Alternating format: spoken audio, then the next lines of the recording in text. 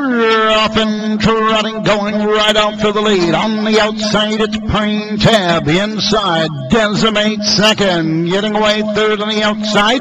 Charles Ray racing fourth. Green Peace. On the turn at the first eighth, Bravo fifth, racing sixth, King of Chrome, racing seventh, Baritone, off stride eighth, double crisscross, and trailing the field, following an early break performance chip. Field of trotters.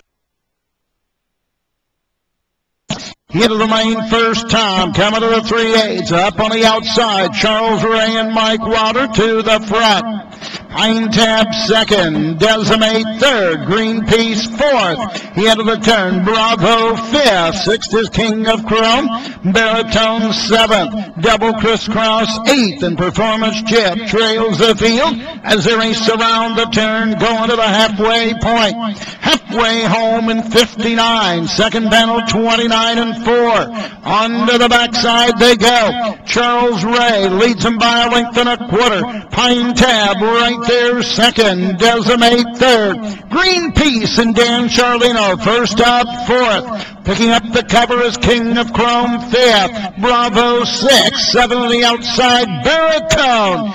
We got four in, three out. Go on to the three quarter mark. Three quarters, 128 and four, 29 and four backside. Little more than an eight to go. On top of the field, it's Charles Ray by a head. On the outside, Green Peace second. Pine Tab third. Down the stretch they trot. On the inside, Charles Ray, Green Peace on the outside, Pine Tab, Lightning Lane, Charles Ray and Green Peace are strong. Charles Ray, Green Peace, Pine Tab, Baritone, 159.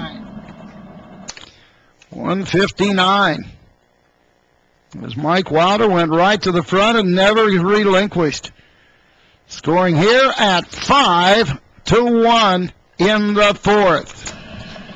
Yes, he did. He had a long way to go there to get to that lead early on. The Mice parked out most of that opening quarter, which they hit in 29 and 1. But once uh, Charles Ray establishes the lead, he was a mighty tough customer up front. As we had early breaks by horses at World.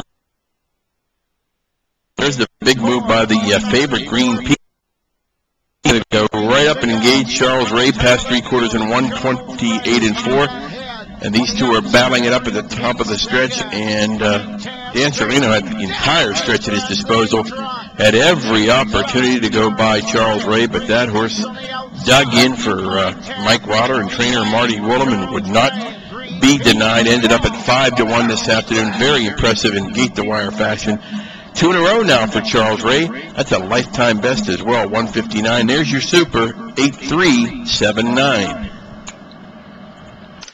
8379 in the fourth. 8379. Not yet official.